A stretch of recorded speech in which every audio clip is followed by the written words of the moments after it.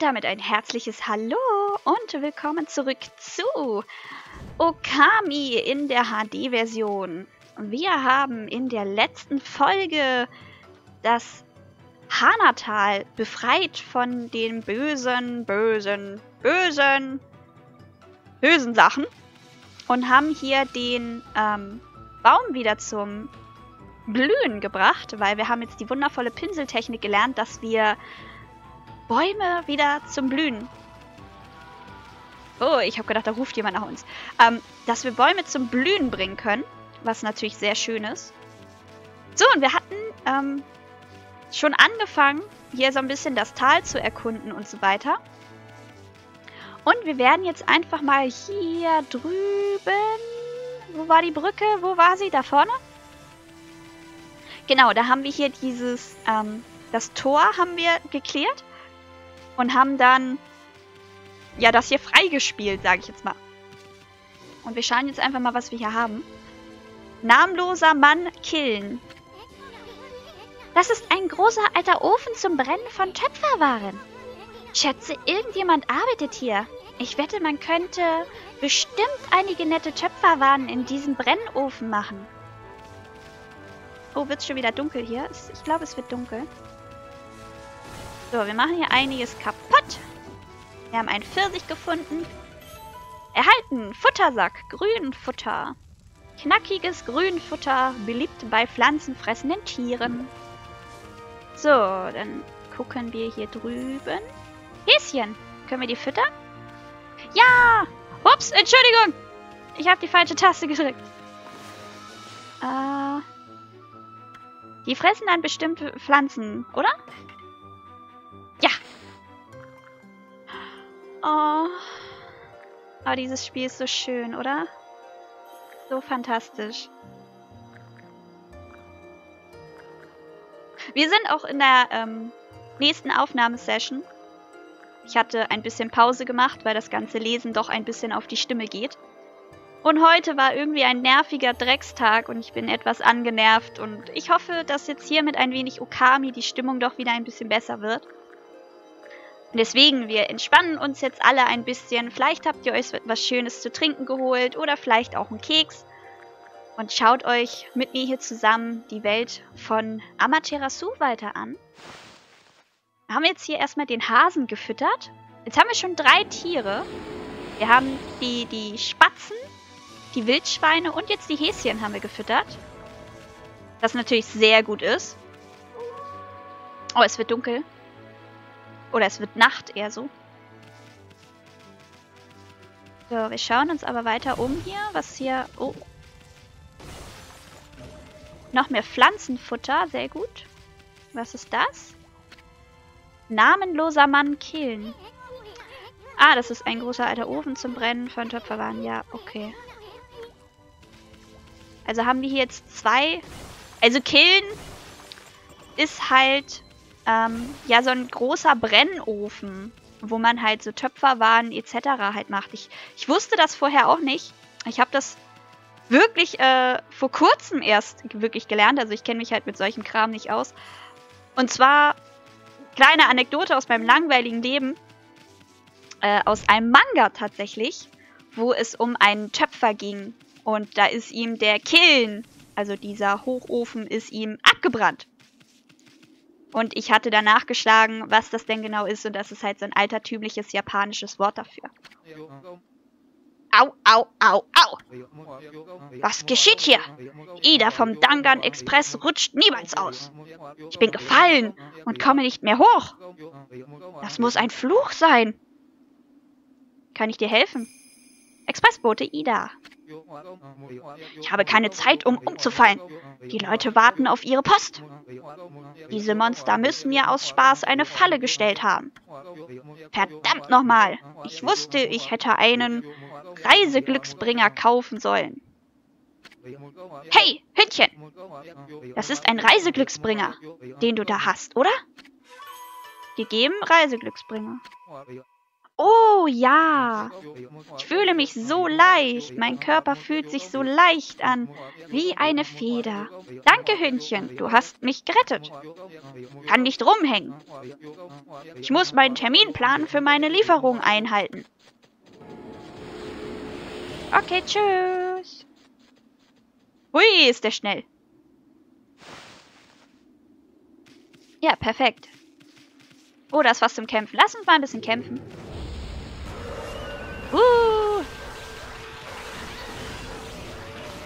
So. Miau. Ah, da ist ja noch einer. So viele Gitarren. Nee, das sind Lauten, waren das, ne? So, hier haben wir die tot. Dann sammeln wir einmal das Tüdelkrams ein.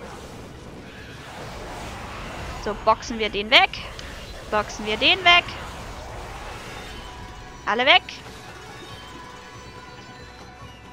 Nee, der lebt noch. Oh, ich habe gedacht, er ist schon tot. So, einmal alles einsammeln. Ich weiß gar nicht, ob das einfach despawnt, also ob man das gar nicht dann kriegt, oder ob das halt jetzt mitgezählt wird hier in der letzten. Aber das weiß ich nicht. Was haben wir hier? Oh, die Statue ist schön. Hm?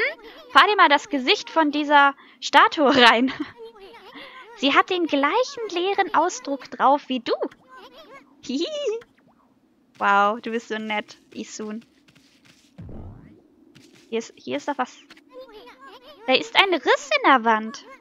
Und es kommt da eine schwache Brise raus. Es könnte sich lohnen, diese Wand einzureißen. Okay, warte. Wir gehen einen Schritt zurück. Und... Äh... Du hast alles gegeben, Emmy. Glaubst du wirklich, dass dein Stru Sturkopf diese Wand kaputt machen wird? Ja, aber schneiden kann ich ja nicht. Ah. Okay, schauen wir uns später an. Dann laufen wir weiter. Oh. Okay, wir kämpfen weiter. Kämpfen. Ich weiß gar nicht, was man, abgesehen halt, okay, von, von den Kämpfen oder durch die Kämpfe kann man halt das Land von den Monstern befreien. Man kriegt Geld. Und was noch? Kriegt man Glück? Ich glaube nicht, ne? Bam, bam, bam, auf die Fraser. Schnipp! Oh, ich habe nicht getroffen. Ich bin, ich bin ein schlechter Künstler. Jetzt aber. Oh, da ist er tot. Da ist er tot. Sehr schön. Na, nur, nur mal ein Baum. Na gut. Macht nichts. So, wir laufen jetzt nochmal hier runter. So. Ah, hier ist noch ein Dämonentor. Guck mal, das machen wir noch. Oder auch noch, klar. Ah, diese lauten Spieler sind nervig. Äh, schnipp. Ah. Ich treffe mal nicht. So. Ist er tot? Er ist tot. Komm, ich will dein Loot. So, dann einmal hier. Der ist auch tot. Wir auch dein Loot haben. Dann Block da wieder. Dann schnibbeln wir ihm die Seiten kaputt. Und prügeln den Rest da drauf rum. Oh, und jetzt ist noch einer von den mit den Drums. Konnte ich nicht auch Bäume pflanzen? Ja. Aber was bringt mir das? Oh. Jetzt, seht ihr das da unten? Unten links wieder das Symbol? Jetzt ist es gelb. Was bedeutet das? Ich weiß es nicht. Oh, jetzt muss ich da weg. Ach, der, der, der Mob ist echt nervig.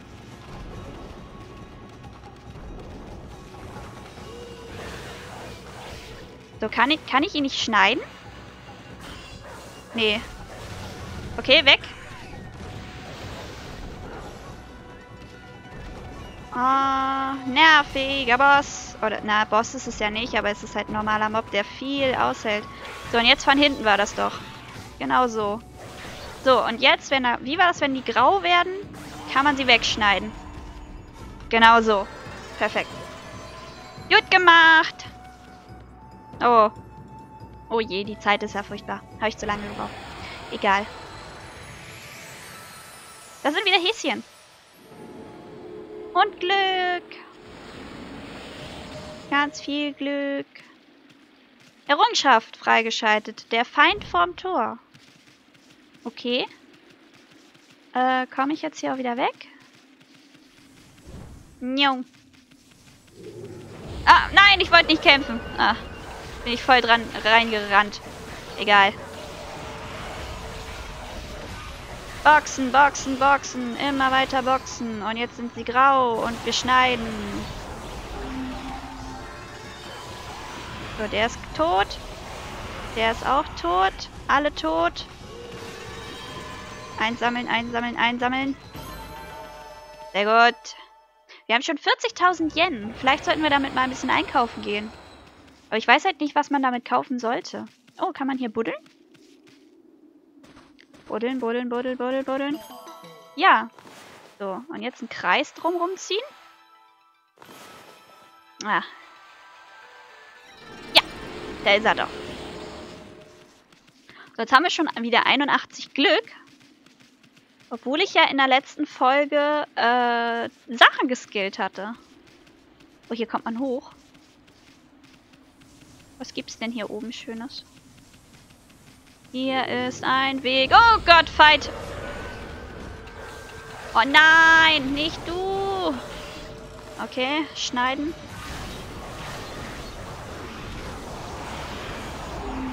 Okay, den haben wir.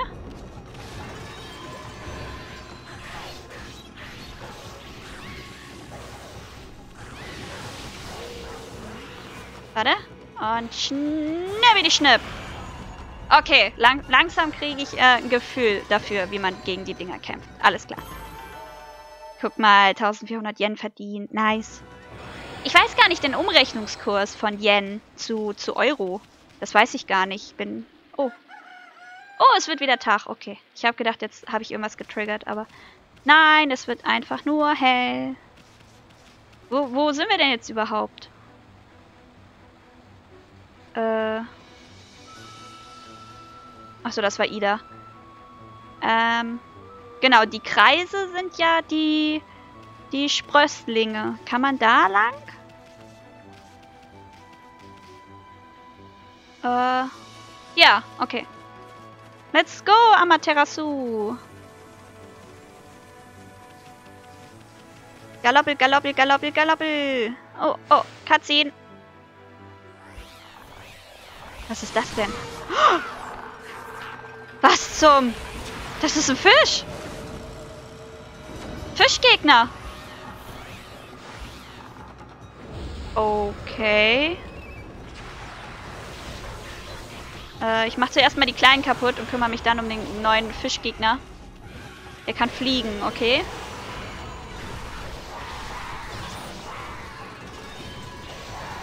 Äh, kann ich ihn einfach in der Luft bekämpfen? Oder wie? Oder...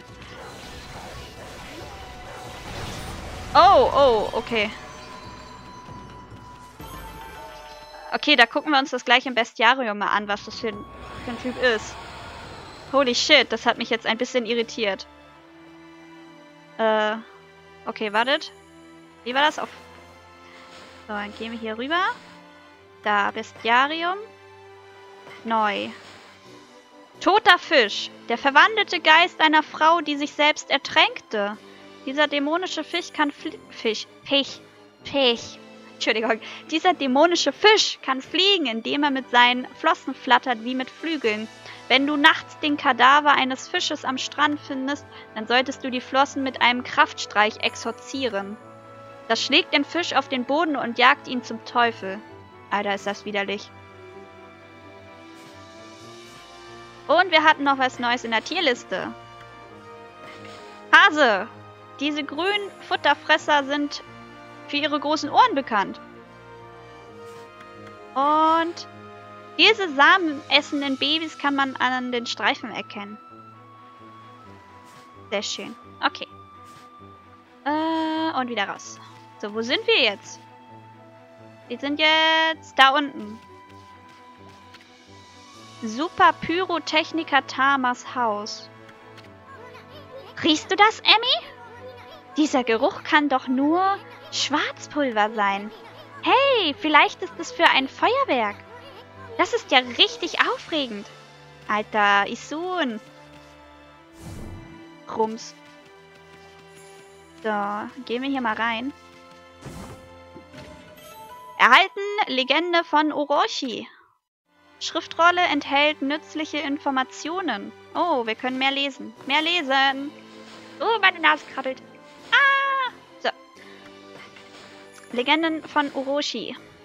Das Dorf Kamiki liegt in den Feldern von Shinshu in Nippon. Dieses Dorf trägt die Bürde einer traurigen Tradition. In der Nacht des Festes erscheint der böse Lindwurm Orochi. Und ein weißgefederter Pfeil trifft das Haus einer Jungfrau. Orochi verlangt das Mädchen als Opfer, um sein Leben zu verlängern. Das ging 100 Jahre so, bis Nagi den Lindwurm erschlug.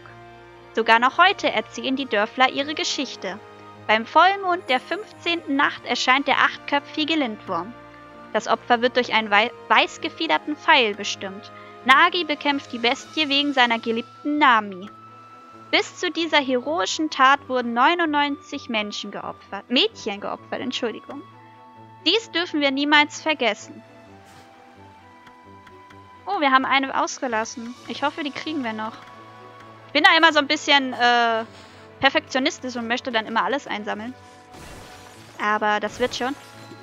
Es gibt hier so viel zu sehen und zu machen und zu tun. Oh, oh, oh, oh, oh, oh, oh. Oh, Kohlkopf. Kohlkopf. Verbraucht Mohrrübe. Wurzel randvoll mit Nährstoffen. Füllt den Magen ein wenig. Achso, das ist nur ein Blätterhaufen. Kann ich hier rein? Hallo? Schlafe wie ein Murmeltier. Komm nachts wieder. Du hast die Nachricht gelesen. Schätze, wir müssen heute Nacht wiederkommen. Aber was ist denn hier? Hier ist doch irgendwas Wichtiges. Es war natürlich eben auch erst Nacht, oder? Komme ich hier wirklich nicht durch? Nö. Na gut, dann kommen wir hier bei, bei Nacht wieder. Und gehen erstmal darüber zu dem tempelähnlichen Gebäude. Wir können natürlich auch erstmal hier die, die Schriftrolle kaputt hauen. Das können wir auch machen. Klatsch, klatsch, klatsch, klatsch. So. Zack. Auch wenn das mit dem Pinsel äh, gewöhnungsbedürftig ist, das einzusetzen. Aber es, es, es ist schon ziemlich cool. Also mal was anderes. Es macht Spaß. Auch wenn ich total bescheuert äh, Kreise ziehe. So, äh, wenn ich da runter, da ist Wasser. Amaterasu mag kein Wasser, also gehen wir da auch nicht hin. Dann gehen wir zurück. Da die Treppen rauf. Njung, njung, njung, njung. Auch schön, wie sie, äh, je schneller sie läuft, desto mehr Blumen und Blätter sie äh, hinterlässt. Das finde ich voll schön. Oh, ein Schild. Zum Feuerwerksgeschäft. Und... So, äh, was? Lese ich das, das gleiche Schild nochmal? Zum Agatha-Wald. Okay, da wollen wir eigentlich noch gar nicht hin. Ich will da runter. Nee, da vorne ist, äh... Da, da, da will ich kurz hin.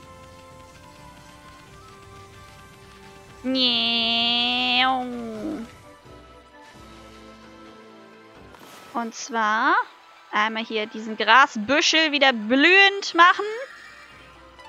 Genau so. Oh, was ist das denn? Ein Riss? Wow, der Boden hier ist ganz schön aufgerissen. Was? Ich wette, er könnte mit einer mächtigen Explosion zerstört werden. Boom! Und es würde wie ein billiges Souvenir kaputt gehen. Also müssen wir tatsächlich zu dem Typen mit dem Feuerwerk, um ja, das in die Luft zu sprengen. Oh, da ist eine Kiste. Kiste, Kiste, Kiste, Kiste. Erhalten, füttern, Tipps. Ah, ist das äh, Schriftrolle. Enthalten nützliche Informationen. Blub, Ist das Nummer 5? Ja, guck mal. In wiederhergestellten Gebieten kehrt das Leben zurück. Füttere die Tiere richtig und du erhältst Glück. Okay. Und was war das hier? Logbuch? Äh, achso, Dauerschläfer. Ja, das war Schlaf wie ein Murmeltier. Okay. Wuff! Ich hatte doch Samen, oder? Ich kann die doch füttern. Füttern! Ihr Samen! Ja! Oh, das ist so schön. Aber das haben wir auch schon gesehen. Deswegen überspringen wir die Szene. Und Glück. Skillpunkte. So, und jetzt will ich da runter. Genau, hier runter will ich. Aber die Musik ist so schön hier, oder? Hat man richtig Lust auf Abenteuer. Oder? The Legend of Zelda Style mäßig. Was ist da vorne? Ist das ein Stein? Oh nee, hier ist noch mehr. So, man nimmt sein Schwert, man nimmt sein Schild und ist auf dem Weg. Das hier ist eine Wächterstatue, aber ich glaube, hier war seit Jahren keiner mehr. Sie ist in ganz schön schlechter Verfassung. Sie tut mir irgendwie leid. Warum lässt du nicht eine Opfergabe hier? Ja, ich habe aber nichts zum Opfern. Außer dich, Isun. Habe ich nicht gesagt. So, was haben wir hier? Hallo? Mondschrein. Die Leute läutern sich hier, bevor sie die Mondhöhle besuchen. Wir gehen rein. Hallo? Ich bin eine Gottheit, macht Platz.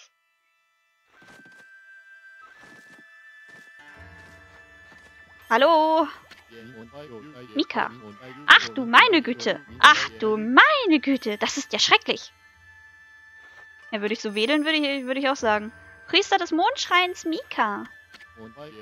Ah, ein höchst willkommener Gast hat unseren Schrein betreten. Du kommst genau zur rechten Zeit, Wolf. Ich muss mit dir sprechen. Da draußen ist der Harami-See, Nippons größter See. In seiner Mitte war ein alter Schrein, den man Mondhöhle nannte. Aber er ist komplett verschwunden, in Luft aufgelöst. In ihm war der böse Dämon, den Nagi und Shiranui einst besiegt hatten. Außerdem enthielt er Tsukuyomi, das sagenumwobene Schwert, das den Dämon an Ort und Stelle band. Dieser Dämon, sein Name war... Nein, ich werde verflucht sein, wenn ich ihn sage. Es war Voldemort. Ist ja auch egal. Der Punkt ist, was um alles in der Welt ist mit dem Schrein geschehen. Er wurde Tag und Nacht von dem Tao-Meister Waka bewacht. Als er einmal zurück in die Stadt ging, da ist es passiert. Oh Mann. Oh! Entschuldigung. Entschuldigung. In letzter Zeit sind Monster auch hier aufgetaucht. Diese unheilstiftenden Monster sind die schlimmsten. Ich vermute, das hier ist ihr Werk. Nun, vielleicht nicht diesmal. Aber man muss sich trotzdem um sie kümmern. Ich habe bereits eine gesuchten Liste für sie vorbereitet. Mikas Monsterliste. Unimaru, der Unverbesserliche. Bivamaru, der Vandale. Akutsuko, nee. Jetzt, jetzt ist wieder die Frage, ob das U äh, mitgesprochen wird oder nicht. Entweder ist es Akuso oder Aksu. Der Eindringling, Iso, der Seitenschneider, Toya von den Unbeherrschten. Die Götter werden alle diese gesuchten Monster mit einem Zeichen markiert haben. Man erkennt sie sofort, sobald man sie erblickt.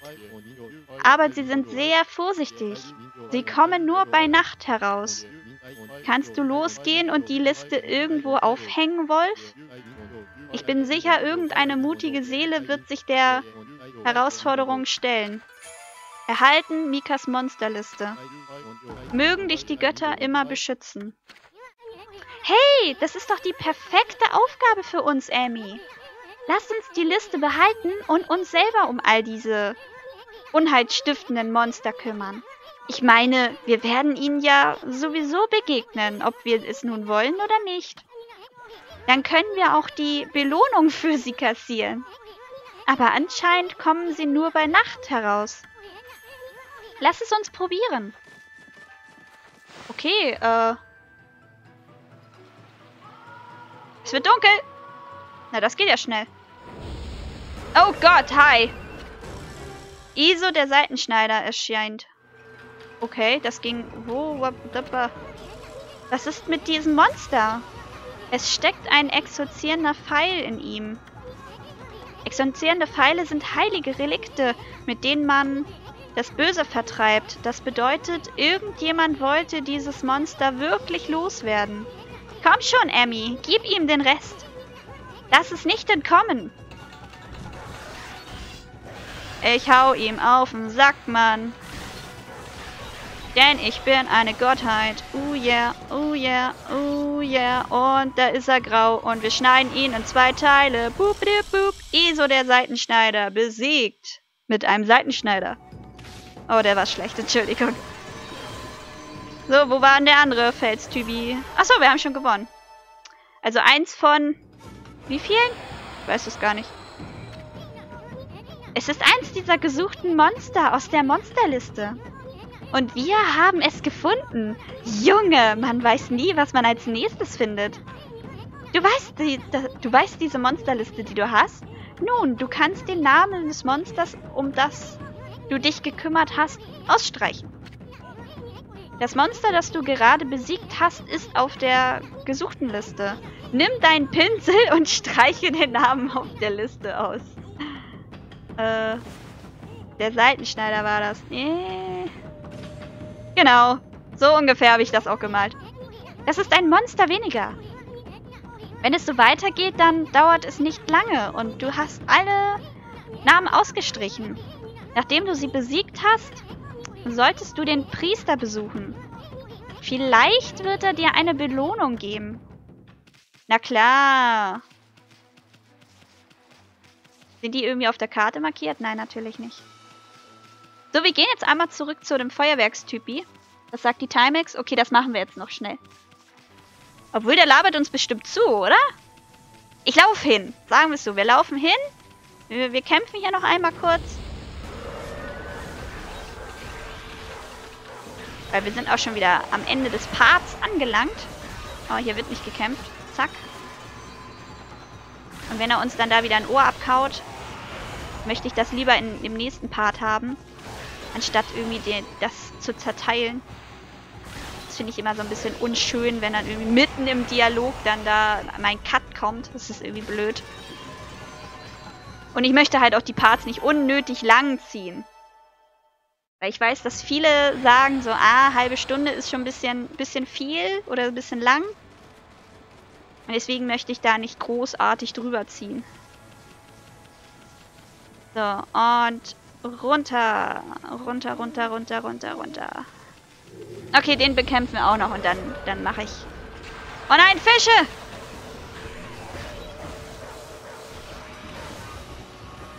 Warte, wie war das? Was hatten die gesagt? Die Fische.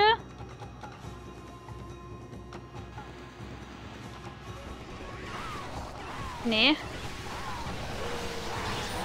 Wir haben einen neuen Gegenstand erhalten, sagt mir mein Steam gerade. Ja, danke schön.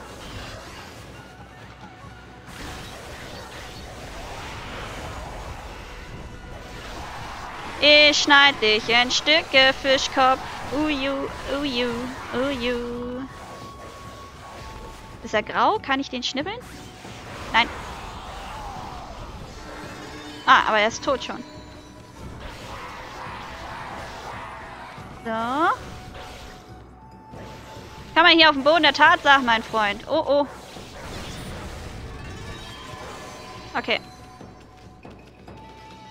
Perfekt.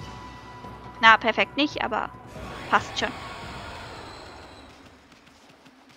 So, jetzt ist hier auch auf.